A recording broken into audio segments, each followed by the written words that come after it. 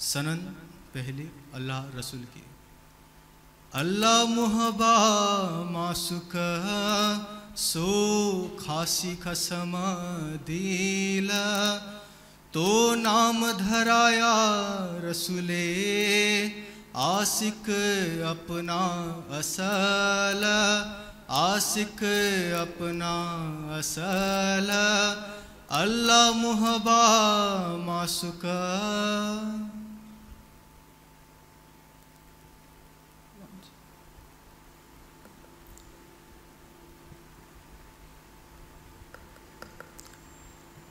धामधनी ने यह सनंद की वाणी दी है। उस सत्य को उजागर करने के लिए जो आज तक हो नहीं पाया था। कुरान को अवतरित हुए चौदह सौ वर्ष हो गए हैं। और इस कुरान की ओट में आप देख रहे हैं, आतंकवाद का तांडव हो रहा है। भावी विचारधारा सारे संसार में पैर फैलाती जा रही है। कि संसार में इस्लाम के अतिरिक्त कोई भी धर्म नहीं होना चाहिए। उस विचारधारा के पोषक जितने विद्वान हैं, मौलवी, मुल्ला, वो जानते ही नहीं कि वास्तविक इस्लाम क्या है। इस्लाम तो शांति के लिए है। इस्लाम शब्द का अर्थ ही होता है शांति।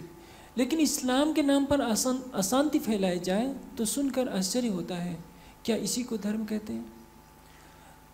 आप समाचार पत्रों में पढ़ते हैं, टीवी में देखा करते हैं। आई एस आई की विचारधारा में हज़ारों नवयुवक घर द्वार छोड़ करके भागे जा रहे हैं। किस लिए? कि हम, हमें अल्लाह की राह पर कुर्बान होना है। दूसरों को मार देना है जो दूसरी विचारधारा की हैं। और सारी दुनिया में एक इस्लाम को फैला देना है। उनसे पूछा जाए कि तुमने कुरान को क्या समझा? सच तो यह है कि वो कुरान से कोसों दूर है और ये आज से नहीं चल रहा है। करबला के मैदान में जिस तरह से शहीद होना पड़ा था हुसैन को और इसके पहले हसन को मारा गया था। इस्लाम का इतिहास ही बताता है कि मोहम्मद सल्लल्लाहु अलैहि वसल्लम के देह त्याग के पश्चात खून की नदी बहाई गई। चाहे भारत में बहाई गई हो, चाहे अरब में भलाई, बहाई गई हो, चाहे यूरोप में फैलाई गई हो। सामने रखा जाता है इस कुरान को, और कुरान का नाम दे करके मानवता को रोने के लिए विवश किया जाता है। इसके विपरीत कुरान का ज्ञान कहता है कि सारी सृष्टि का परमात्मा एक है, जो बाइबल को मानने वालों का है जो वेद को मानने वालों का है, या किसी भी संत मत की विचारधारा को मानने वालों का है, लेकिन यही कट्टरवादी विचारधारा, जो बहावी विचारधारा आज संसार में जहाँ जहाँ फैल फैल रही है, उसका एक ही सिद्धांत है कि हमारी विचारधारा के अतिरिक्त, हमारी जो कर्मकांड की पद्धति है, यानी शरीयत के अतिरिक्त अन्य कोई भी विचारधारा संसार में नहीं होनी चाहिए। संसार के सभी विचारधाराओं को एक कर सत्य की राह दर्शाने के लिए ही तो प्राणनाथ जी आए। साहेब आए इंजमे करने कारज दिन, सो सबका झगड़ा मेट के या दुनिया यदि मेटन लड़ाई बंधन की जूदे जादे पैगंबर, धनी आए वेद कतेब छुड़ावने ये तीन बातें चित्त में धर। सनंद कार्तिक ही होता है, ये मुहर लगा देना, एक प्रमाण दे देना। कि इस ग्रंथ में जो कहा जा रहा है, वो सत्य है। आप देखेंगे, भारतवर्ष का इतिहास साक्षी है। मोहम्मद बिन कासिम आता है इस देश में, हज़ारों मंदिरों को ध्वस्त कर देता है। महमूद गजनवी सत्रह बार भारत पर आक्रमण करता है। जानते हैं, जब सोमनाथ के मंदिर को उसने लूटा था तो कितनी संपदा निकली थी? तीन हज़ार ऊँटों पर उसने सोमनाथ के मंदिर की संपदा को लाद करके ले गया था। मोहम्मद गोरी का एक सेवक था कुतुबुद्दीन ऐबक। उसने कन्नौज के एक हज़ार मंदिरों को तोड़ा और उसकी संपदा जानते कितनी निकली? चार सौ ऊँटों पर वो लाद करके ले गया था। मोहम्मद बिन कासिम ने भी सत्रह हज़ार दो सौ मन का सोना तो केवल एक स्थान पर लूटा था। आप सोच सकते हैं, ये सब कुछ कैसे हुआ? खून इतिहास की बातें बताई जाए तो रोंगटे खड़े हो जाते हैं। और ये सब किसके नाम पर किया गया? केवल इस्लाम के नाम पर। औरंगज़ेब यही चाहता था। औरंगज़ेब के अंदर परम धाम की आत्मा है। लेकिन शिक्षा किससे मिली है उसको? इन्हीं कट्टरपंथियों से मिली है। एक बार औरंगज़ेब के बड़े भाई दारा सिको से पूछा गया कि जन्नत कहाँ है? जानते हैं क्या उत्तर दिया? जहाँ मुल्लाओं का सुर नहीं है, वही जन्नत है। इसका आशय क्या होता है? कुरान के शब्दों को ये ज़ोर ज़ोर से चिल्लाते हैं कि हमारा इस्लाम खतरे में है।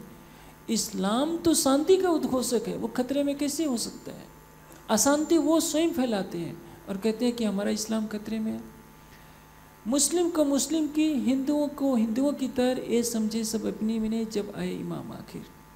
श्री प्राणनाथ जी की बाणी हिंदुओं को उनके ग्रंथों से समझाने के लिए है मुसलमानों को उनके कुरान हदीस से समझाने के लिए, क्रिश्चियनों को उनके तौरेत, इंजिल जम्बूर और बाइबल ओल्ड, न्यू टेस्टामेंट से समझाने के लिए।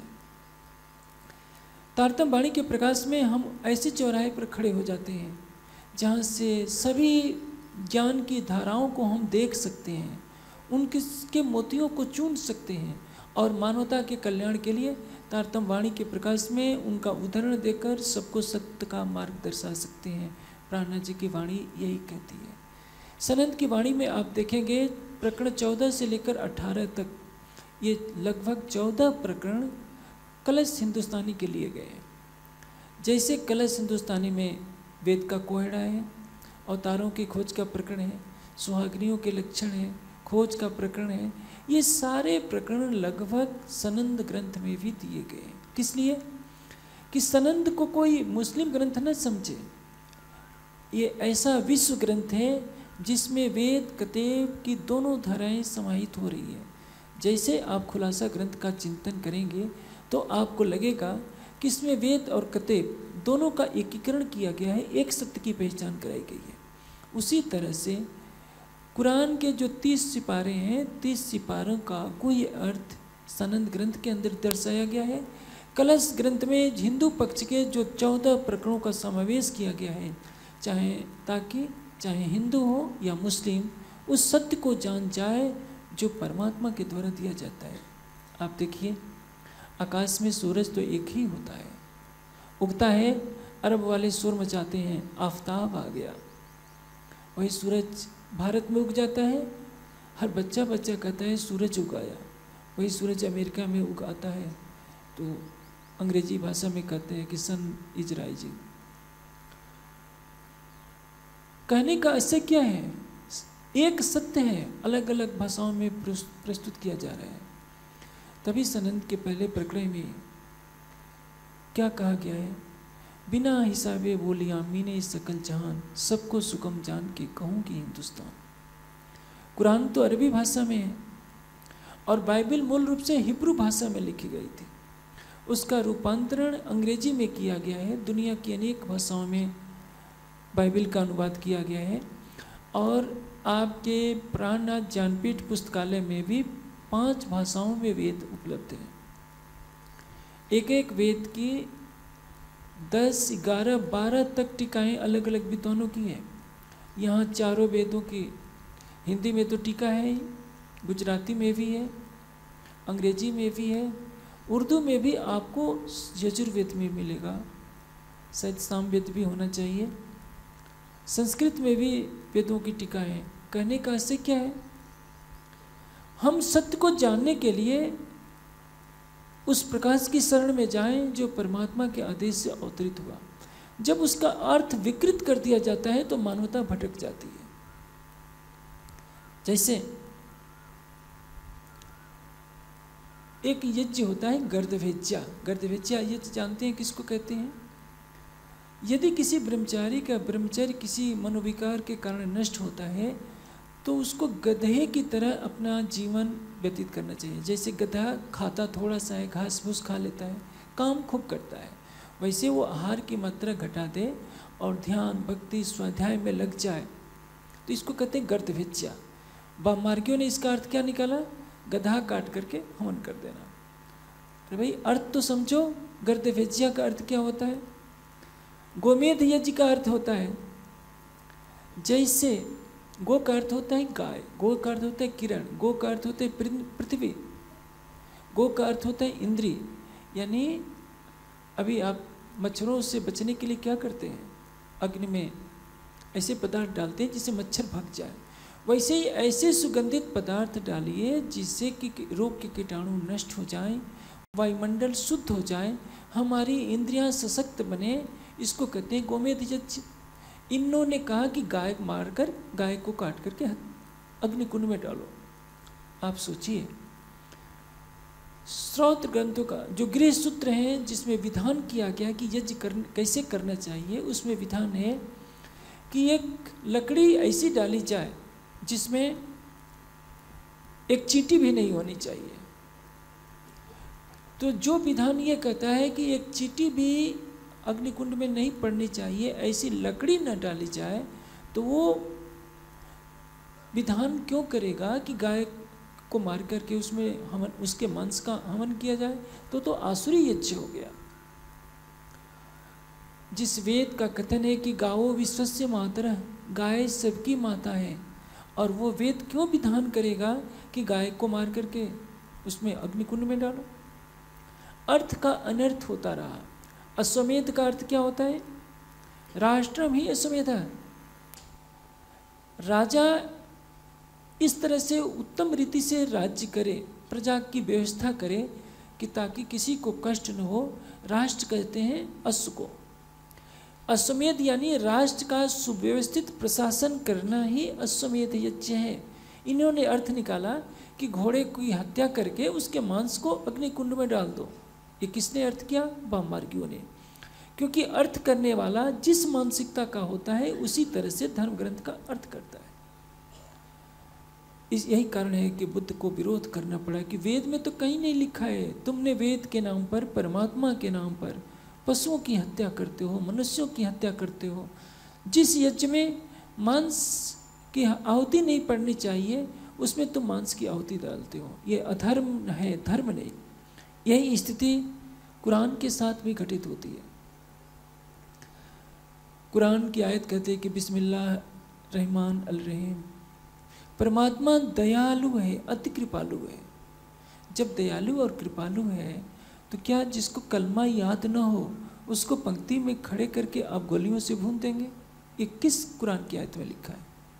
संसार में हज़ारों जातियाँ रहती हैं, हज़ारों भाषाएँ हैं। आप सबको बंदूक की नाल पर अरबी पढ़ाएँगे, सबको कहेंगे कि आप कलमा पढ़ो, ये उचित नहीं है। औरंगज़ेब भी यही चाहता था।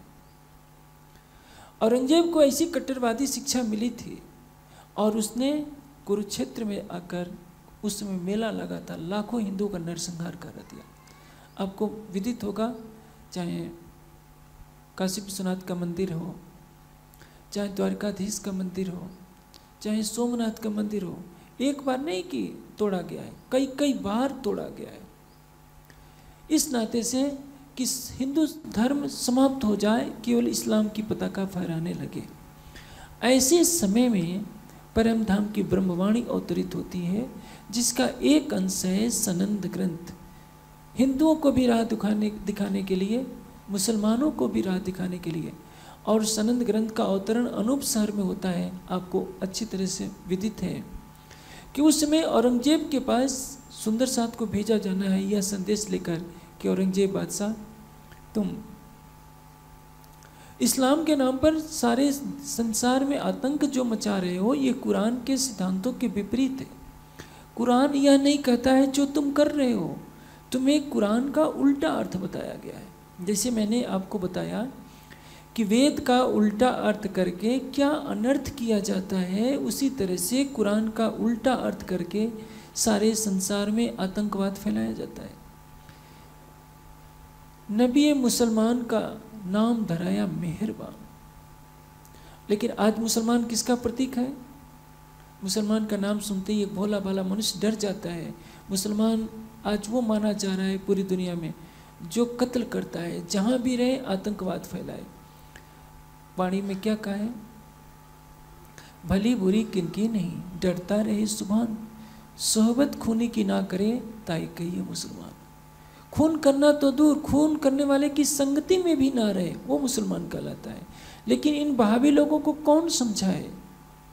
उन्होंने तो कुरान की आयतें रट लेनी है और अरबी व्याकरण के आधार पर उसका गलत मानसिकता से ऐसा अर्थ कर देना है कि संसार में केवल इस्लाम ही मज़हब रहे और कुछ नहीं।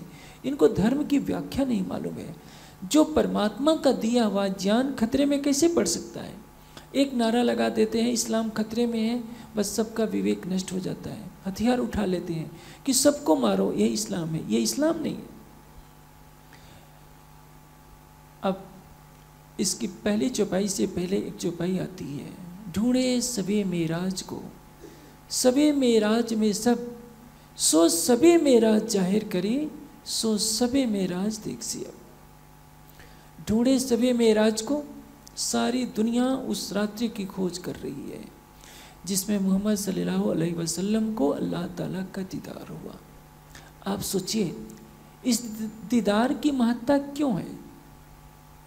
इसलिए कि अब तक जिसको दर्शन होता रहा है आत्म साक्षात्कार होता रहा है ब्रह्म साक्षात्कार होता रहा है, या तो अपने जीव के स्वरूप का साक्षात्कार होता रहा है, या अव्याकृत का साक्षात्कार होता रहा है, या सबलिक का, या केवल का।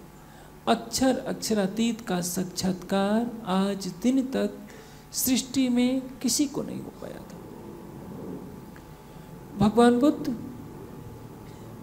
कठोर तपश्चर्या के पश्चात आत्म तत्व का साक्षात्कार करते हैं। अपने आत्मस्वरूप में स्थित हो जाते हैं। उनको अपने सैकड़ों जन्मों का ज्ञान विदित हो जाता है कि मैं कौन था किस किस जन्म में मैं कहाँ भटक रहा था।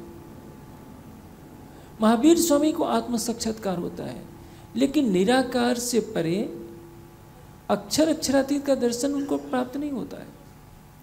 अपने स्वरूप में स्थित होकर तृष्णाओं से परे हो जाते हैं। उनको यह विदित हो जाता है कि अब मैं जन्म मरण के चक्र में नहीं पड़ने वाला हूँ। और इसीलिए उन्होंने आर्य, अष्ट, आर्य अष्टांगिक मार्ग का विधान करते हैं कि सारी दुनिया इस मार्ग पर चलेगी तो विपसना पद्धति के माध्यम से वो सत्य को प्राप्त कर लेगी। एक जैन मुनि वृक्ष की डाल भी नहीं तोड़ सकता, चींटी को भी नहीं मार सकता, लेकिन अक्षर अक्षरातीत क्या है इसके बारे में कुछ नहीं जानता। जैन मत की विचारधारा तो कहती है कि अनादि परमात्मा कोई है ही नहीं। तीर्थंकर ही हमारे सब कुछ हैं। बौद्ध धर्म की विचारधारा, वर्तमान विचारधारा कहती है, न आत्मा है, न परमात्मा है। जड़ से भिन्न किसी चेतन तत्व को नहीं मानते। वो मानते हैं कि जड़ ही चेतन के रूप में भासने लगता है और यही चरवाक की नास्तिक विचारधारा भी है। क्षणिकवाद, शून्यवाद के जंजाल में पड़ा हुआ आज का बौद्ध दर्शन कहीं ना कहीं भटक गया है। बात होती है परमात्मा को जानने की। जितने भी ऋषि मुनि हुए, चारों वेदों का अध्ययन कीजिए, उपनिषदों का, दर्शनों का तो आपको यह विदित होगा कि अक्षर की चतुष्पाद विभूति के ही दर्शन का सौभाग्य इस सृष्टि को प्राप्त है और होना भी चाहिए। इसे आगे का उन्हें अधिकार ही नहीं। जो जीव सृष्टि मोह सागर से उत्पन्न हुई है, नारायण की चेतना का प्रतिभास है, वह अक्षर और अक्षरातीत के दीदार का सौभाग्य कैसे प्राप्त कर सकती है? इसलिए वेद में उतना ही ज्ञान दिया गया जितना कि आवश्यक है। वेद का सिद्धांत कहता है कि परम गुहा में ब्रह्म का दर्शन होता है और उस दर्शन के पश्चात क्या होता है? तीन पदान निहितम गुहा यस्य, यह वेद स पितु पिता सत। परम गुहा में त्रिपाद विभूति का दर्शन होता है। व्याकृत का आपको दर्शन हो सकता है। सबलिक का होगा। आप बहुत प्रयास करेंगे। सुखदेव की तरह निर्मल होंगे। शंकर जी की तरह होंगे तो केवल ब्रह्म की अनुभूति हो सकती है। महेश्वर तंत्र में भगवान शिव कहते हैं कि, हे उमा, पाँच हज़ार वर्ष की दिव्य समाधि के पश्चात आप सुनिए क्या कह रहे हैं? पाँच हज़ार दिव्य वर्षों की समाधि के पश्चात आज देखा जाए तो पूरे देश में पाँच हज़ार तो क्या पाँच घंटे भी ध्यान लगातार करने वाले कितने हैं? मात्र कुछ हज़ार होंगे, अधिक से अधिक कुछ लाख होंगे जो पाँच घंटे लगातार बैठ सकते हैं। भगवान शिव कह रहे हैं, अब इसमें सत्यता कितनी है? पाँच हज़ार वर्षों तक कैसे बैठे? मान लीजिए, पाँच हज़ार नहीं बैठे हो, कुछ वर्ष हो। कह रहे हैं कि पाँच हज़ार दिव्य वर्षों की समाधि के पश्चात यह ज्ञान मैंने ईश्वर से सुना है, समाधि में। ईश्वर ने सदाशिव से सुना है और सदाशिव ने अक्षर से सुना है। हे उमा, मैं तुमको वह ज्ञान सुना रहा हूँ। अक्षर ब्रह्म की ज्ञान धारा सदाशिव के अंदर आती है। सदाशिव की ज्ञान धारा ईश्वर के अंदर आती है। ईश्वर की ज्ञान धारा शिव के अंदर आती है और शंकर जी उसको सुना देते हैं। अब कहते हैं महेश्वर तंत्र में कि मैं केवल ब्रह्म की उस अलौकिक लीला का ध्यान करता हूँ। जब वर्णन करते हैं तो कभी परम धाम का भाव ले लेते हैं, कभी केवल ब्रह्म का भाव लेते हैं। उनको भी अक्षर अक्षरातीत के मूल स्वरूप जो परम धाम में है, उनका दर्शन नहीं हो पाता है। लेकिन यह स्थिति कुछ और है। अक्षर की आत्मा ब्रज में आ चुकी है। मूल सूरत अक्षर की जे जिन चाहिया देखो प्रेम से सो सूरत धनी को ले आवेश, नंदघर की ओ प्रवेश। अक्षर की आत्मा ब्रज में आती है। श्री कृष्ण के रूप में बारह, ग्यारह वर्ष, बावन दिन तक लीला करती है राज्य के आवेश के साथ, जोश के साथ। इसके पश्चात परम धाम की आत्माएँ अपने मूल तनों में जागृत हो जाती हैं। पुनः जागने के ब्रह्मांड में आना है, वही अक्षर की आत्मा अरब में अवतरित होती है। आप देखेंगे, मनुष्य की विशेषता है कि महान बुद्धि तो किसी किसी के अंदर आती है। वेद का उपदेश है मित्र से चक्षुषा हम सर्वाणी भूतानी समीक्षे, मैं इस संसार के सारे प्राणियों को मित्र की दृष्टि से देखूँ। लेकिन ऐसा होता नहीं है।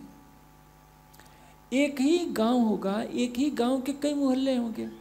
एक मोहल्ले वाले दूसरे मोहल्ले वाले से अपने को बड़ा समझेंगे। एक ही गाँव में कई जातियों के लोग होंगे, और तो और छोड़िए। एक ही जाति के कई गोत्र वाले होंगे तो वो एक दूसरे को छोटा समझेंगे। और आश्चर्य तो तब होता है, पंडित दीनदयाल उपाध्याय, महान पुरुष रहे हैं। और काशी हिंदू विश्वविद्यालय की स्थापना करने वाले मदन मोहन मालवीय दोनों ब्राह्मण और दोनों एक दूसरे का छुआ नहीं खा सकते थे। क्यों? हम बड़े तो हम बड़े। ब्राह्मण ब्राह्मण का छुआ न खाए तो इससे बड़ा दुर्भाग्य क्या होगा? यदि ब्राह्मण कहे कि मैं ऐसे कछुआ नहीं खाऊँगा, शूद्र का छुआ नहीं खाऊँगा तो बात सोची जा सकती है। मनुष्य की प्रवृत्ति है। मैदानी भाग वाले कहेंगे, पहाड़ी ऐसे होते हैं। पहाड़ के लोग कहेंगे, मैदान वाले ऐसे होते हैं। हर उत्तर भारत वाले कहेंगे, दक्षिण भारत वाले ऐसे होते हैं। दक्षिण भारत वाले कहेंगे, उत्तर भारत वाले ऐसे होंगे। अब सारे भारत वाले मिलकर क्या कहेंगे? पाकिस्तानी ऐसे होते हैं। पाकिस्तान वाले क्या कहेंगे? भारत वाले ऐसी होती हैं। अमेरिका वाले भारत वालों की कमियाँ देखेंगे, भारत वाले अमेरिका वालों की कमियाँ देखेंगे। निष्पक्ष रूप से सबको एक समान कौन देखेगा? जो सबका है। सूरज उगता है, सबके लिए उगता है। चंद्रमा उगता है, सबके लिए उगता है। हवा बहती है, सबके लिए बहती है। या नहीं देखती कौन हिंदू है, कौन मुस्लिम है, कौन क्रिश्चियन है। आखिर राज्य तो सबके हैं। आज हम भारत में पैदा हुए हैं, हिंदू संस्कृत में हम पले बसे हैं। हमारी वेशभूषा ऐसी है। मान लीजिए, मुसलमान तो पुनर्जन्म को नहीं मानते, हम तो पुनर्जन्म को मानते हैं। हमारा जन्म यदि मुस्लिम तन में हो गया होता तो हम क्या करते? क्योंकि हमको बचपन से ही कुरान पढ़ाया जाता, हमको बचपन से ही नमाज़ पढ़ना पड़ता। जीव तो हमारा वही रहता। यदि हमने सारे विश्व को अपना परिवार मान लिया होता तो हम सारे विश्व में एक शांति की भावना से देखते। एक सामान्य पुरुष जो होता है, अपने परिवार के बारे में सोचता है, अपने गाँव के बारे में सोचता है, अपने समाज के बारे में सोचता है। लेकिन जो महान होता है, वो सारे विश्व के बारे में सोचता है। सारे विश्व में हमारा पृथ्वी मंडल आता है, सौर मंडल आता है। लेकिन जो असंख्य सौर मंडलों का नियंत्रक है, असंख्य गैलेक्सियों को जो बनाने वाला है, उस अक्षर से भी परे जो अक्षरातीत है, वह हिंदू मुस्लिम के पछड़े में नहीं पड़ेगा। इसलिए अक्षर की आत्मा जो ब्रज में श्री कृष्ण के अंदर लीला कर चुकी है, वही अक्षर की आत्मा अरब में आती है। तो एक बात घटित होती है, हमारे समाज में एक बहुत विचित्र विचारधारा चल पड़ी है। उसकी विवेचना क्या करेंगे कि अरब में श्यामा जी आई थी, अक्षर की आत्मा नहीं आई थी। उसकी समीक्षा अभी चौपाई की चर्चा में करेंगे। अभी प्रसंग है ढूंढे सबे में राज को, सबे मेराज में सब। सब ए में राज है, दर्शन की रात्रि, जिसमें अक्षर की आत्मा, अपने प्राणेश्वर, अपने प्रीतम अक्षरातीत का दर्शन करती है। बोलचाल में क्या लिखा जाएगा? मोहम्मद साहब को राज्य का, अल्लाह ताला का दीदार हुआ। मुस्लिम इस भाषा में कहेगा, लेकिन हमको तो मालूम है कि अरब में अक्षर की आत्मा आती है और ब्रह्मात्माओं के लिए संदेश लाना है, इसलिए कुरान के रूप में वो ज्ञान अवतरित होना है कि सारा संसार विश्वास कर ले कि कौन आया है। गीता का ज्ञान सार्वभौमिक ज्ञान अवश्य है। वेद का ज्ञान भी सार्वभौमिक ज्ञान अवश्य है। एक ऐसा समय था आज से पाँच हज़ार वर्ष पहले, जब किसी न किसी रूप में सारे संसार में वैदिक संस्कृत फैली हुई थी। आज से डेढ़ हज़ार वर्ष पहले, दो हज़ार वर्ष पहले अरब में भी पौराणिक हिंदू संस्कृत थी। वहाँ कोई इस्लाम नहीं था। ये ज़रूर है, आज की संकीर्ण विचारधारा वाले इस तथ्य को स्वीकार करने के लिए तैयार भले ही न हो। लेकिन अफ्रीका में खुदाई हुई है, रसिया में खुदाई हुई है, चाइना में खुदाई है, सब जगह भारतीय संस्कृत के संकेत मिले हैं और रसियन भाषा संस्कृत के बहुत अधिक निकट है। और तो और। यदि आप गहराई से विश्लेषण करेंगे, चाहे ग्रीक हो, लैटिन हो, हिब्रू हो, जितनी भाषाएँ हैं, या वर्तमान समय में अंग्रेज़ी हो, अरबी हो, फारसी हो, सभी वैदिक संस्कृत से निकली हुई है। लेकिन जब ज्ञान का प्रवाह अवरुद्ध हो जाता है तो उसमें विषयांतर शुरू हो जाता है। धर्म के नाम पर संप्रदाय बनने लगते हैं, उनकी एक सीमित भाषा हो जाती है, और अलग अलग संप्रदाय बनकर आपस में लड़ने लगते हैं, विश्व धर्म से दूर हो जाते हैं। जब कहा जाता है कि हमारा धर्म कृष्ण प्रणामी धर्म है तो मुझे बहुत हँसी आती है। वाणी में कहा है, त्रैलोकी मेरे उत्तम खंड भरत को तामे उत्तम हिंदू धर्म। ताके छत्रपतियों के सिर इत आए रही शर्म। धर्म तो हमारा हिंदू है। संप्रदाय हमारी निजानंद है। श्री कृष्ण प्रणामी धर्म न वाणी में है न वितक में है, एक वितक नहीं, आठों वितकों में कहीं भी नहीं है। लेकिन चारों तरफ़ कह दिया जाता है, आजकल तो ज़ोर शोर से पहला नाम कहा जाएगा श्री कृष्ण धर्म। हम श्री कृष्ण धर्म को मानते हैं, तब तो आप हिंदू रहे ही नहीं, न आप मुसलमान रहे, न हिंदू रहे। और पूछा जाए, कृष्ण प्रणामी धर्म कब से चला है? तो व्याख्या में कहते कि तो सृष्टि के प्रारंभ से चला आ रहा है।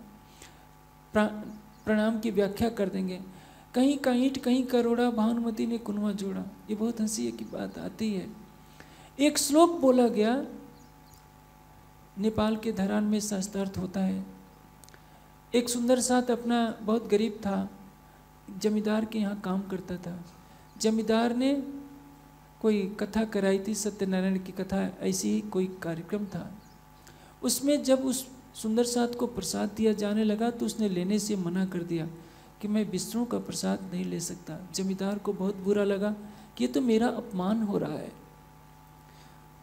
उसने कहा कि तुम्हें लेना पड़ेगा। सुंदर साथ ने कहा कि देखिए, मैं आपके घर की नौकरी छोड़ दूँगा, लेकिन अपना विश्वास नहीं छोड़ूँगा। मैं अक्षरातीत के अतिरिक्त किसी का भी प्रसाद नहीं ग्रहण कर सकता। उस जमींदार को अपनी बहुत बेजती महसूस हुई और उसने प्रताड़ित करना शुरू किया। यहीं से शास्त्रार्थ की भूमिका बनती है। वो सुंदर साथ की तरफ़ से संदेश आता है और भारत से पंडित कृष्णदास शास्त्री, कानपुर, कृष्णदेव जी, जयपुर और धर्मगुरु पंडित प्यारे लाल जी, या जितनी बड़ी बड़ी हस्तियाँ थी, निजानंद संप्रदाय की, सब वहाँ पहुँची शास्त्रार्थ हुआ। शास्त्रार्थ में प्रश्न ये रखा गया कि बताइए आप कहते हैं कि हमारी वाणी है, हमारा परम धाम है, इसका कोई शास्त्रीय प्रमाण है? तो आप जानते हैं, उन्होंने भागवत, महाभारत के शांति पर्व के सैतालीसवें अध्याय का बानवे श्लोक सुना दिया। कि देखिए, हमारे मंत्र में लिखा है, निज नाम जी अनादि अक्षरातीत। और उसमें श्लोक आता है, एक प्रकृष्य कृत प्रणाम दस अश्वमेध औभृथेन तुल्य। दशाश्वमेधि पुनरेति जन्म श्री कृष्ण प्रणामी न पुनर्भवाय। इसका अर्थ यह होता है, एको कृष्ण से कृता प्रणाम है। एक बार भी जो श्री कृष्ण को प्रणाम कर लेता है तो दस अश्वमेध औभृथेन तुल्य। दस अश्वमेध यज्ञ करके स्नान करने के पुण्य के बराबर होता है। दस अश्वमेधि पुनरेति जन्म, दस अश्वमेध यज्ञ करने वाले का तो पुनर्जन्म हो सकता है कृष्ण प्रणामी न पुनर्भवाय लेकिन कृष्ण को श्रद्धापूर्वक प्रणाम करने वाले का पुनर्जन्म नहीं होता है। जैसे कि मैंने कहा, कहीं का ईट, कहीं का रोड़ा, वैसे ही यहाँ भी अर्थ में घोटाला किया जाता है। पूरे अध्याय को पढ़ेंगे तो प्रसंग क्या है? भीष्म पितामह देह त्याग करने की स्थिति में है। भगवान श्री कृष्ण पाँचों पांडवों के साथ वहाँ जाते हैं और भीष्म पितामह भगवान श्री कृष्ण को नारायण के रूप में मानकर स्तुति करते हैं और उनके द्वारा यह कहा हुआ श्लोक है, पूरे अध्याय का नाम है भीष्म स्तौराज यानी भीष्म के द्वारा श्री कृष्ण की की गई स्तुति। प्रश्न यह है कि क्या हम बैकुंठ बिहारी को मानते हैं, आराध्य? श्री कृष्ण तो बैकुंठ बिहारी हैं, हम तो अक्षरातीत परम धाम को मानने वाले हैं, लेकिन भोले भाले सुंदर साथ ने यह नहीं समझा कि ये बैकुंठ बिहारी का प्रसंग दिया गया है, हमारा आराध्य तो परम धाम वाला है। लेकिन जहाँ श्री शब्द से भ्रांति फैल गई, सबने मान लिया कि हमारा धर्म क्या हो गया? श्री कृष्ण प्रणामी धर्म। धर्म तो हमारा हिंदू धर्म है, और हिंदू धर्म भी विकृत रूप है। मूल धर्म हम वेद का अनुसरण करते हैं, इसलिए हमारा धर्म तो वैदिक धर्म हुआ। जो आज हिंदू धर्म कहला रहा है, वो तो पौराणिक विचारधाराओं का पोषण करता है। वो वैदिक मान्यताओं के पचहत्तर प्रतिशत विपरीत है। लेकिन उन्हीं के अवशेषों पर हमारे धर्म की रूपरेखा वर्तमान में चल रही है तो हम कह देते हैं कि हमारा हिंदू धर्म है। वास्तव में हिंदू शब्द, चार वेद, चार उपवेद, छह अंग, छह उपांग, किसी भी ग्रंथ में अठारह पुराणों में भी हिंदू शब्द नहीं मिलेगा। ये नाम विदेशियों के द्वारा दिया गया हुआ है। मेरे कहने का ऐसे क्या है? हरिद्वार के शास्त्रार्थ में निजानंद कहा गया। कुलमूल हमारो आनंद है परब्रह्म के आनंद स्वरूप श्यामा जी के हम अर्धांग स्वरूप हैं। और उन्होंने परब्रह्म के आनंद स्वरूप ने आकर जो परम धाम का मार्ग बताया, निज आनंद के स्वरूप सतगुरु धनीश देवचंद जी निजान जिसको हम निजानंद स्वामी कहते हैं, उन्होंने जो मार्ग दर्शाया उसको हम निजानंद संप्रदाय कहते हैं। व्याख्या तो ये है। अब निजानंद संप्रदाय को हटाकर कृष्ण प्रणामी धर्म बना दिया गया। उसी तरह से इस्लाम की गलत व्याख्या करती जाती है और परिणाम सारा संसार एक संघर्ष की अग्नि में तप जाता है। हिंदू हो या मुस्लिम या क्रिश्चियन, सभी अपने कर्मकांडों के हित नियमों का पालन करते हैं। कोई पूरब में बैठ कर के ध्यान करता है तो कोई पश्चिम में नमाज़ पढ़ता है। कोई सिर पर चोटी रखता है तो कोई दाढ़ी रखता है। ये तो वेशभूषा का झगड़ा है। आत्म तत्व की दृष्टि से देखें तो क्या होता है? वेद में सब के लिए शांति की कल्पना की गई है। देव शांति, अंतरिक्षम शांति, पृथ्वी शांति आप शांति, वनस्पति शांति, औषधेय शांति, विश्व देवा शांति, ब्रह्म शांति, सर्वम शांति शांति एवं शांति, सा शांति माँ ईद कहाँ लिखा है भारत? कहाँ लिखा है पाकिस्तान? द्योलोक से असंख्यों गैलेक्सियाँ पैदा हो रही हैं। उस द्योलोक में भी शांति हो। अनंत आकाश में जहाँ भी सृष्टि हो, वहाँ शांति हो। सारी पृथ्वी पर शांति हो। यह भारत, पाकिस्तान, अमेरिका और इजराइल की बात नहीं हो रही है। वेद का ज्ञान सारे विश्व के लिए है। फिर भी आज वेद को हिंदू समाज के लिए केवल मान लिया गया और हिंदू समाज में भी जो जन्मना ब्राह्मण है, कहते हैं कि वेद केवल हमारे लिए है। पुरी के शंकराचार्य निरंजन देव तीर्थ ने कहा था कि वेद तो दूर, संस्कृत पढ़ने का अधिकार भी केवल ब्राह्मण को ही है। छत्री भी न पढ़े, वैश्य भी न पढ़े। पूछा जाए, यदि आपकी माताजी वेद नहीं पढ़ी हैं, संस्कृत नहीं पढ़ी हैं तो ब्राह्मणी कैसे कहला सकती हैं? फिर भी तो आप भी तो ब्राह्मण नहीं हुए। अभी कुछ महीने पहले पूरी के ही शंकराचार्य ने एक हँसी का वक्तव्य दिया है। जानते हैं क्या लिखा उन्होंने बोला था? कि वेद तो मनुष्यों के लिए है ही नहीं। ये तो परमात्मा की वाणी है, इसलिए केवल देवता पढ़ सकते हैं। दर्शन शास्त्र भी मनुष्य नहीं अध्ययन कर सकता। उसको केवल गीता पढ़नी चाहिए। आप सोचिए, चार शंकराचार्यों में एक शंकराचार्य का यह कथन कि केवल गीता पढ़ करके आप अपने जीवन का कल्याण कीजिए। गीता तो महाभारत का एक अंश है। महाभारत रचा जाता है पाँच हज़ार वर्ष पहले। और हमारी शिष्ट का सम्मत है, एक अरब छियानवे करोड़ आठ लाख तिरपन हज़ार एक सौ उन्नीस वर्ष हो गए। तो महाभारत काल से पहले यदि वेद मनुष्यों के लिए नहीं था तो वशिष्ठ, विश्वामित्र और बड़े बड़े अथर्वा जैसे ऋषि मनीषी क्या करते रहे? क्या वो वेद नहीं पढ़ते? ऐसी संकीर्ण विचारधाराओं से विरोध का जन्म होता है। जो व्यक्ति चोटी रख लेता है या कोई व्यक्ति दाढ़ी रख लेता है तो वो लड़ने लगता है। वो कहेगा, मेरा इस्लाम बड़ा, वो कहेगा, मेरा हिंदू धर्म बड़ा। राज्य ने सबका निपटारा कर दिया। ब्राह्मण कहे, हम उत्तम, मुस्लिम कहे, हम पाक। दो मुट्ठी एक ठौर की, एक राख, दूजी खाक। मुसलमान को दफना दिया जाना है, वो मिट्टी बन जाना है, और हिंदू को, के तन को जला दिया जाना है, वो राख में बदल जाना है। दोनों ही सत्य से वंचित हैं। और इसलिए जब हम सनंद ग्रंथ को पढ़ें तो एक आत्म तत्व के धरातल पर पढ़ें कि जिनको हम मुसलमान समझ रहे हैं, क्रिश्चियन समझ रहे हैं, यहूदी समझ रहे हैं, वो भी प्राणी हैं। मानव मात्र के लिए परमधाम की ब्रह्मवाणी है, किसी संप्रदाय विशेष के लिए वाणी नहीं है। हमने अपने ज्ञान को एक छोटे से संप्रदाय की सीमा में बाँध दिया, याद रखिए। जो जैसा सोचता है, वैसा ही हो जाता है। जिसकी दृष्टि जैसी होती है, बोलचाल की कहावत कही जाती है, जैसी दृष्टि वैसी सृष्टि। आँखों पर हम काला चश्मा लगा लेंगे तो दूध भी हो सकता है, काला दिखने लगेगा। सफ़ेद चश्मा लगाएँगे सत्य का तो जो वस्तु जैसी होगी वैसी ही दिखेगी। हम वेशभूषा से पहचान करने लगते हैं कि कौन व्यक्ति क्या है। सनंद की वाणी में यह भूलना पड़ेगा जातियों के बंधन को, संप्रदायों के बंधन को, सत्य को पाने की जिज्ञासा से जब हम देखते हैं तो पता चलता है कि सनंद की वाणी क्या कह रही है। अब हम पूर्व प्रसंग पर आते हैं। अक्षर की आत्मा को मेराज होता है। नब्बे हज़ार रूप बातें होती हैं और अक्षर की आत्मा पुनः अपने मूल तन में वापस आ जाती है। उस मेराज में जो ज्ञान हुआ, वही समय समय पर शरीयत और तरीकत तथा हकीकत का कुछ अंश जिसको हरूफ मुक्त आत कहते हैं, कुरान के रूप में अवतरित हुआ।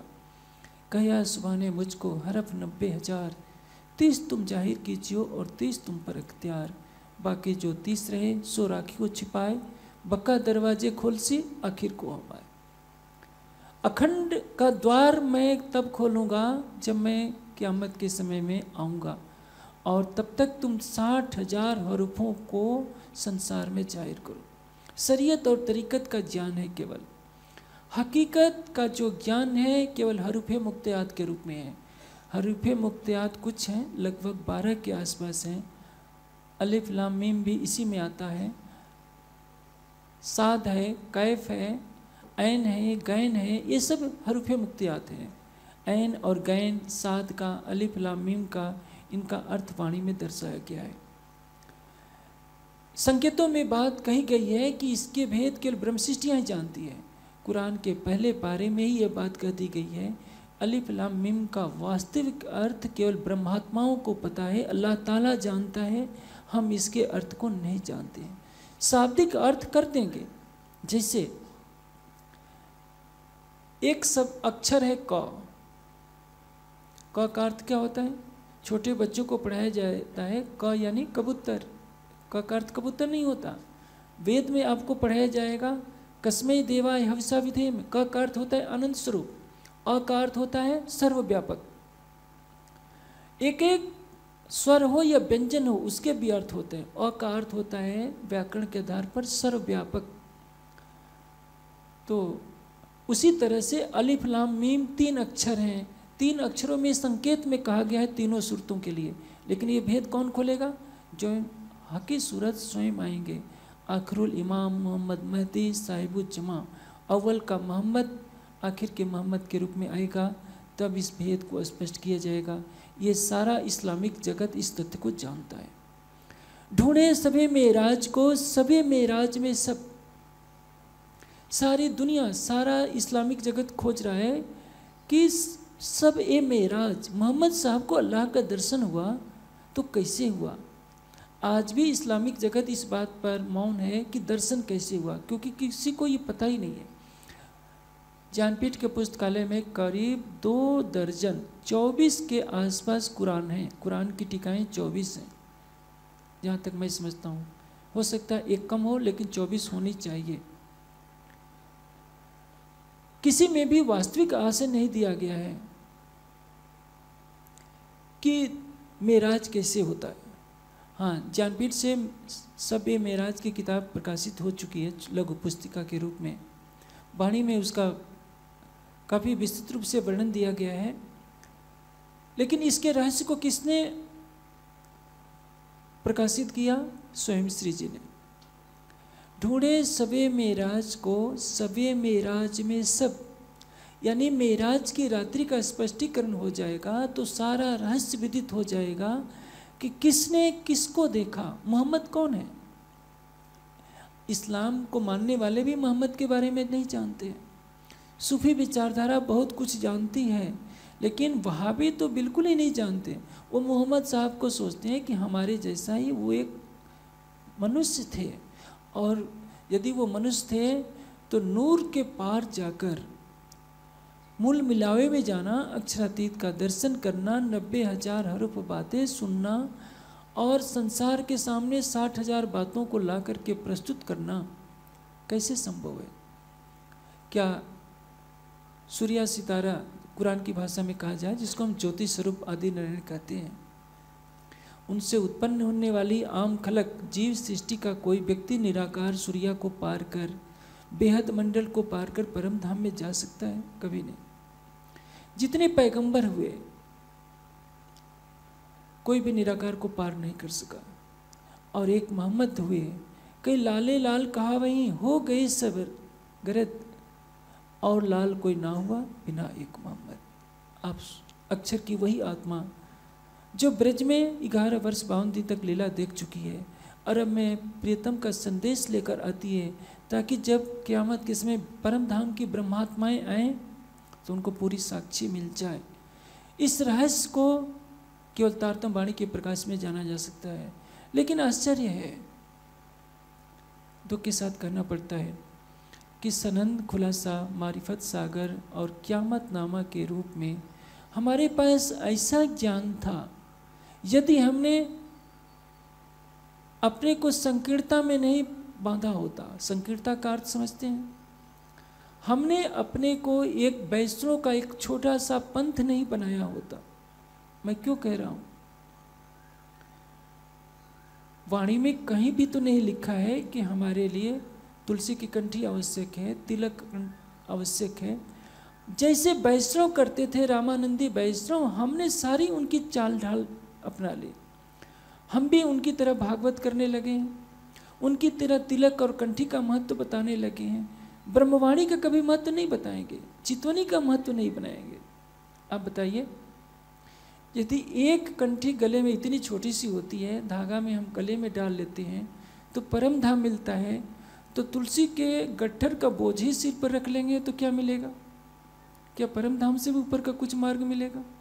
कोई ये नहीं कहता कि खिलवत परिक्रमा सागर में डूबिए, कोई ये नहीं कहता कि चितवनी में बैठकर ए मूल मिलावा अपना नज़र दीजिए इसको कोई नहीं प्रसारित करता।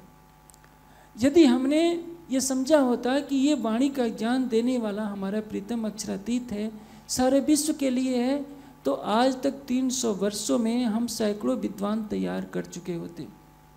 सनंद को, यदि अरबी में हम इसकी व्याख्या कर चुके होते, अंग्रेज़ी में कर चुके होते तो शायद आने वाला जो तीसरा विश्व युद्ध होगा, मेरा अनुमान है कि उसकी भूमिका क्रिश्चनिटी और इस्लामिक जगत के टकराव से ही शुरू होगी। क्रिश्चियन और मुस्लिम आपस में जिस दिन लड़ गए, उस दिन विश्व युद्ध की घंटी बच जाएगी। अभी आपने देखा, न्यूजीलैंड में क्रिश्चियनों ने मुसलमानों को मारा तो उन्होंने श्रीलंका में कुछ हफ़्ते पहले मारा। और ये आग यदि रोकी नहीं गई, बढ़ती गई तो क्या होगा? फिर ये दोनों विचारधाराएँ मिलकर हिंदू समाज पर प्रहार करना चाहती हैं। मेरे कहने का ऐसे क्या है? हमारे पास तो ब्रह्मास्त्र था।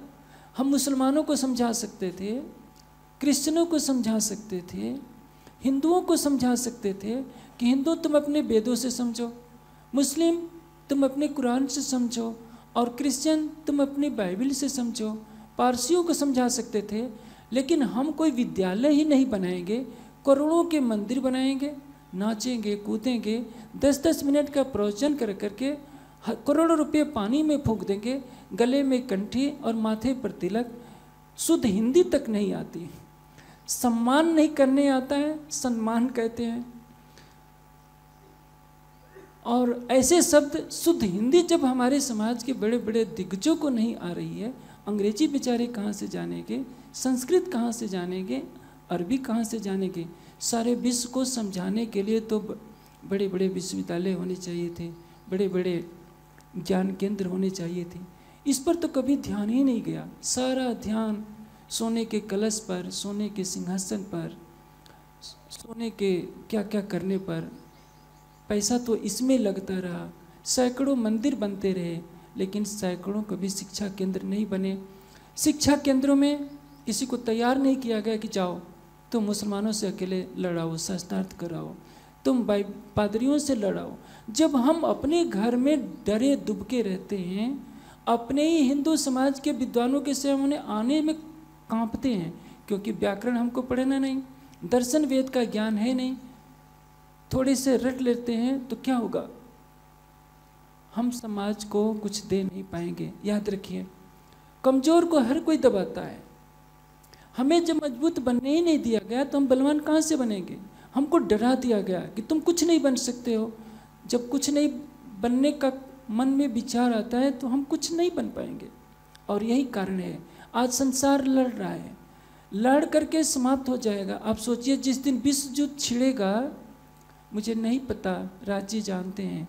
विश्व युद्ध का इतिहास लिखने वाला इस पृथ्वी पर कोई बचेगा कि नहीं बचेगा, ये नहीं कहा जा सकता। क्योंकि वर्तमान समय के परमाणु बम इतने शक्तिशाली हैं कि उनके सामने हिरोशिमा नागासाकी के बम परमाणु बम एक खिलौने के समान है। इतने परमाणु बम हैं कि सारी पृथ्वी को एक दो बार नहीं, हज़ार बार आग के ढेर के रूप में बदला जा सकता है। और ये झगड़ा होगा केवल संस्कृत और धर्म के नाम पर होगा, क्योंकि क्रिश्चियनिटी और इस्लाम दोनों एक दूसरे के शत्रु बन चुके हैं। और जहाँ हिंदुत्व को मिटाने की बात आती है, दोनों एक हो जाते हैं। ये विचारधारा संसार के लिए घातक है। प्राणनाथ जी आए सबको एक करने के लिए।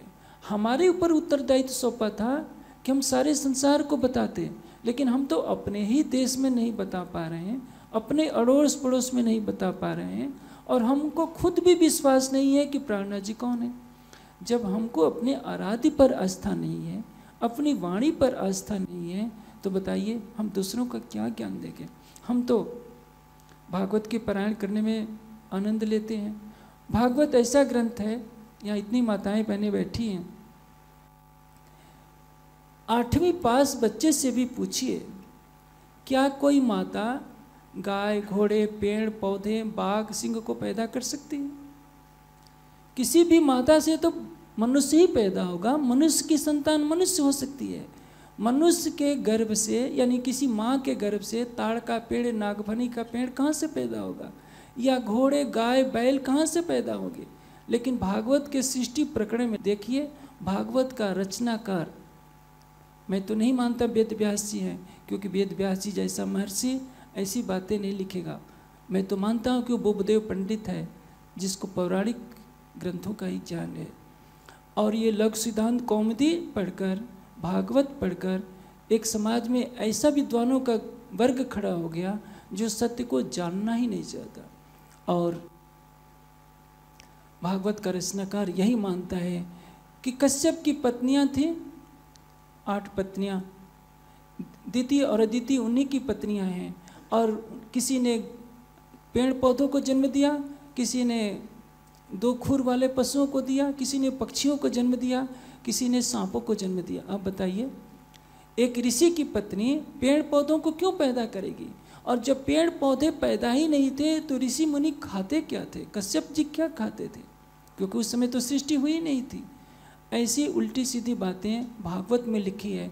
भोली भाली जनता शुरू से अंत तक भागवत के श्लोक को अध्ययन तो करी नहीं है, जैसा बेचारी को सुना दिया जाता है, भोली भाली जनता सुन लेती है।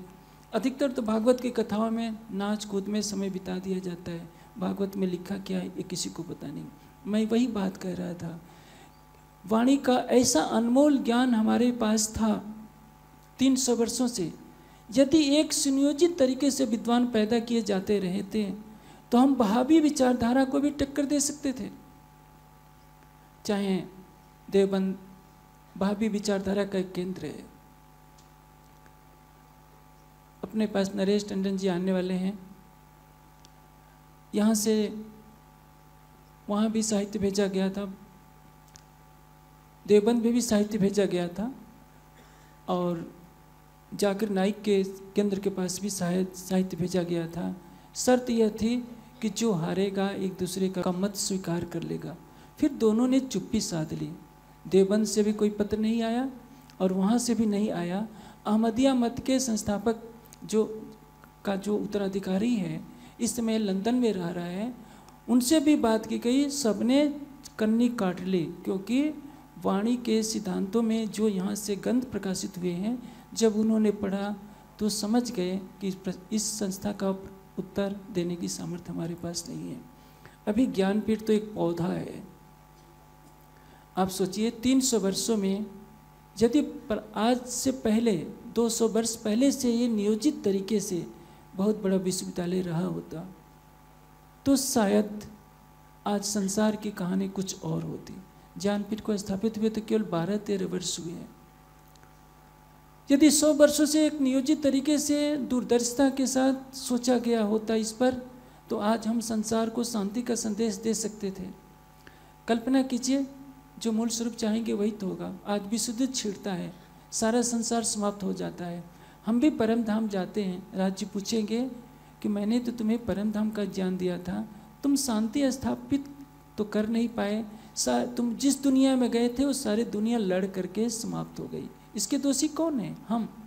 क्योंकि हम समझते ही नहीं कि हम परम धाम के ब्रह्म नहीं हैं। हम तो क्या समझते हैं कि हम एक श्रीकृष्ण प्रणामी धर्म के अनुयायी है। और हमारे ग्रंथों में लिखा जाता है, महामती प्राणनाथ जी गुजरात के वैष्णव संत थे। हम क्या हैं? शुद्ध वैष्णव हैं। और हमारे प्राणनाथ जी क्या हैं? एक वैष्णव महात्मा है। प्रवाहियों की जितनी किताबों में प्राणनाथ जी का परिचय मिलेगा, आपको उनको वैष्णव संत के रूप में परिभाषित किया गया है। इसका दोष उनको हम नहीं दे सकते। दोषी हम हैं। हम प्राणनाथ जी को जब संत कहेंगे, महापुरुष कहेंगे तो संसार के लोग क्यों नहीं कहेंगे? मोहम्मद साहब कह रहे हैं कि जो हरूफे मुक्तियात हैं, जो मेरी ज़ुबान पर नहीं आ सकते, उसके भेद केवल इमाम मेहदी खोलेंगे। आप किसी भी मुसलमान से पूछिए, मोहम्मद को क्या मानता है? तो जो सच्चा मुसलमान होगा, जो सूफी विचारधारा से जुड़ा होगा, वो कभी भी मोहम्मद को इस दुनिया का नहीं मानेगा। यदि अल्लाह के बाद किसी को मानता है तो मोहम्मद को मानता है और मोहम्मद को अल्लाह का रूप मानता है। एक हम हैं जो प्राणनाथ जी को राष्ट्रीय संत घोषित करके गर्व अनुभव करते हैं। स्वयं तो अंतर्राष्ट्रीय संत हम मान लेते हैं कि हम अंतर्राष्ट्रीय संत हैं और प्राणनाथ जी राष्ट्रीय संत है। क्योंकि हमको अंग्रेज़ी आती है प्राणनाथ जी ने अंग्रेज़ी पढ़ी नहीं थी। प्राणनाथ जी अमेरिका नहीं जा पाए तो कहीं ना कहीं हम उनसे अच्छे हैं। हमारी विचारधारा तो इतनी महान बन जाती है। आप सोचिए, जिसने कुरान कहा और जिसने कुरान के भेदों को स्पष्ट किया, खुलासा में एक चौपाई आती है, पढ़िया नहीं फारसी, ना कछ हरफ अरब, सुनिया न कान कुरान को, और खोलत मैंने सब क्योंकि कुरान कहा किसने? अल्लाह ताला ने। किससे कहा? अक्षर की आत्मा मोहम्मद से। लाया कौन? जिब्रील। उसके भेद कौन खोल रहा है? अस्राफिल महामती जी के धाम हृदय में अक्षरातीत का आवेश विराजमान है। जिनसे कहा गया, अक्षर की आत्मा विराजमान है। आयतों को लाने वाला जिब्रील जोश धनी का विराजमान है। उसके रहस्यों को उजागर करने वाला जागृत बुद्धि का फरिश्ता असराफिल विराजमान है। और जो मारिफत के स्वरूप श्री राज्य की हलादनी शक्ति है श्यामा जी, ये रचना श्यामा जी की पिलावत रसरब का, उनके हृदय में श्यामा जी का स्वरूप विराजमान है। ऐसे स्वरूप को कौन सा मौलवी है, कौन सा मुल्ला है जो कुरान की शिक्षा देगा? और ऐसे स्वरूप को हम क्या कहते हैं? महामती प्राणनाथ जी एक वैष्णव संत थे। और इस पर तालियाँ बजाई जाती हैं। हम भी खुश होते हैं कि हमारे प्राणनाथ जी को वैष्णव संत, राष्ट्रीय संत के रूप में घोषित किया जा रहा है। क्या मुसलमान ऐसा करने के लिए तैयार होंगे? कभी नहीं। हमने जैसा प्राणनाथ जी का मूल्यांकन किया है, वैसा ही हम भी अपने समाज का मूल्यांकन कर रहे हैं। ब्रह्मणीय का समुदाय सारे विश्व को शांति, प्रेम का संदेश देने के लिए आया है। अब प्रसंग चल रहा है, ढूंढे सबे में राज को, सब सबे में राज में सब, सो सबे में राज ज़ाहिर करी। किसने ज़ाहिर किया? श्री प्राणनाथ जी ने। सो सब में राज देखती से अब अब तारतम वाणी के प्रकाश में सब ए मेराज दर्शन की रात्रि में जो कुछ हुआ और जो कुछ ज्ञान धारा के रूप में, कुरान के रूप में प्रस्तुत है उसके रहस्यों को उजागर किया जा रहा है। अल्लाह मुहबा मासूक। अल्लाह मुहबा मासूक, सो खासी खसम दिल। अल्लाह के मुहबा मासूक, अति प्यारे मासूक कौन है? श्यामा जी। सो खसम दिल। राज्य के खास दिल हैं। खास दिल का अर्थ क्या होता है? उनके हृदय के विशेष स्वरूप विशेष स्वरूप क्यों कहा गया? मुसम्मी है। मुसम्मी में रस है। लेकिन रस को जब चखेंगे तो कैसा लगता है, ये कुछ विशेष बात है। रस दिख रहा है, वो जमा हुआ है। प्रवाहित होने लगे तो तो आप उसका रसास्वादन करेंगे। प्रेम के अनंत उमड़ते हुए सागर में जो रस छिपा है, वो है आनंद का रस। प्रेम रूपी स्वरूप ने अपने हृदय में आनंद के सागर को अव्यक्त कर रखा है, छिपा रखा है। जब प्रकट हो जाएगा, सबको दृष्टिगोचर होने लगेगा, सबकी अनुभूति में आने लगेगा तो वो कहा जाएगा, ये हकीकत है। मारिफत से हकीकत है, हकीकत से मारिफत है। जल बह रहा है तो पता चलता है कि सचमुच जल है, बह रहा है। जमा हुआ ठोस है, पता नहीं चलता कि रुई है कि क्या है, सफ़ेद कोई वस्तु है। जो घनीभूत है, अव्यक्त है, वो मारिफत। राज्य का हृदय, प्रेम का स्वरूप, प्रेम के स्वरूप के हृदय में भी। प्रेम के अंदर जो रस छिपा हुआ है, वो आनंद रस है, और उसको कहा गया है श्यामा जी, अल्लाह मोहबा मासो, सो खासी खसम दिल। अभी समय मुझे इसकी स्वीकृति नहीं देता। हाँ धाम धनी की कृपा से जब सनंद की टीका आपके पास पहुँचेगी या अगला वार्षिकोत्सव होगा तो इसकी चर्चा आगे विस्तृत रूप से की जाएगी। अक्षर की आत्मा अरब में आती है, लेकिन भ्रांति वसिक विचारधारा चल गई कि श्यामा जी ही अरब में आती हैं श्यामा जी अरब में नहीं आई थी। श्यामा जी ब्रज में भी थी श्यामा जी रास में भी थी, जागनी के ब्रह्मांड में थी। ऐसी अनेक गुत्थियों का निराकरण सनंद की टीका से होगा। राज्य चाहेंगे तो कुछ आने वाले समय में आपको सनंद की टीका अवश्य मिलेगी। खुलासा की टीका से मुझे विश्वास है कि आपने काफ़ी आनंद लिया होगा। अब सनंद की वाणी। यदि संसार में फैल जाए भाभी वालों को भी मिल जाए, यदि उनके अंदर पक्षपात नहीं होगा, हिंसा भावना को यदि वे समाप्त कर लें तो सनंद खुलासा, मार्फत सागर क्यामतनामा को पढ़कर सारा इस्लामिक जगत, सारा क्रिश्चियन जगत आनंद की मस्ती में डूब सकता है। लेकिन हमने तो छिपा करके रखा, मंदिरों की चार दीवारी में बनाए रखा।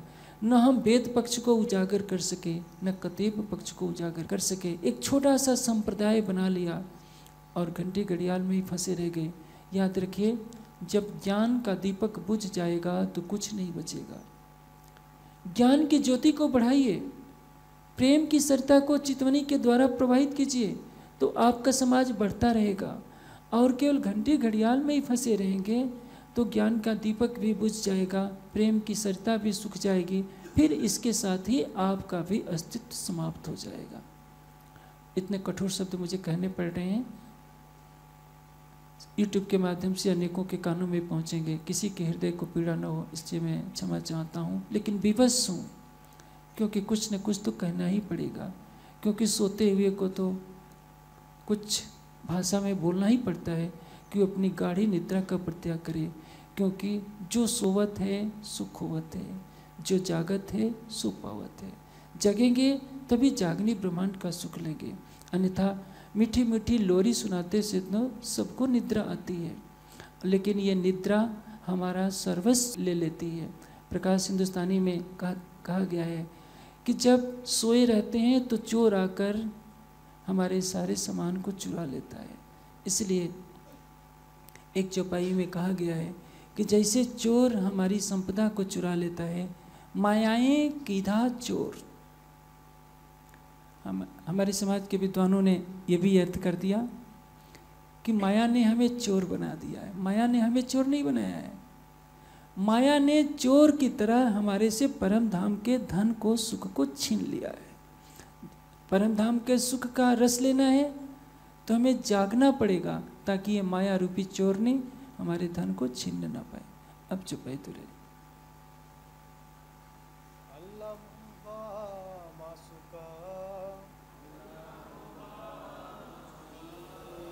सो खासी खसम दिला तो नाम धराया रसुले। आशिक अपना असल आशिक अपना असल। बोले, श्री प्राणनाथ प्यारे की